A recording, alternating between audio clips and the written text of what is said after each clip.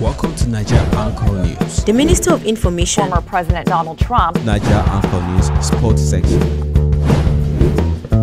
The people of Palestine, thank you. Thank you for being a part of Naija Anchor. The infamous bandit leader Dogo Gide, who was causing a lot of terror in the north, is dead.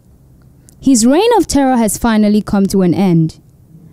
Dogo Gide passed away as a result of gunshot injuries sustained during a clash with Operation Hadarin Daji forces. The encounter took place in the challenging landscape of Madada Forest within the Maru local government area on March 12, 2024. Despite suffering serious injuries, Dogo Gide was said to have been covertly taken to a hospital in Mabera, Sokoto, Sokoto State, where he eventually passed away. Dogo Gide, a notorious fugitive sought for his series of heinous crimes in the area, was laid to rest in Dandala village on March 24. His appearance at the hospital was supposedly made easier by a security official who is currently detained, prompting concerns about potential cooperation with the security forces.